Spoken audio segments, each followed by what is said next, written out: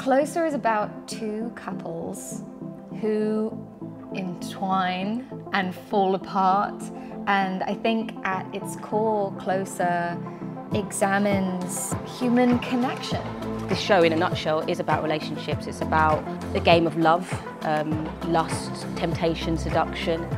I mean, I think I don't think anyone navigates a totally smooth romantic existence, sexual existence. Like I think there are always bumps and knots and difficulties, and that's what this play is.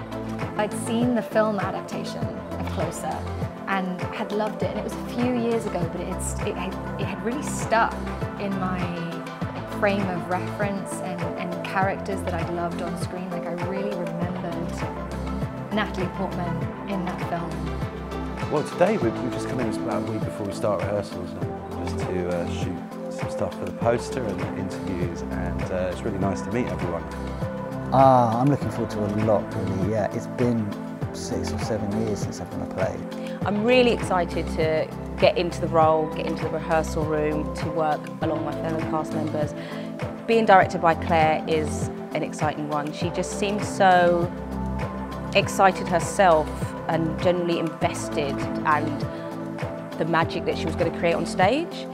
And that made me more buzzing to get involved it will live on, like it, it continues to be as relevant as it ever was because it is just about people connecting.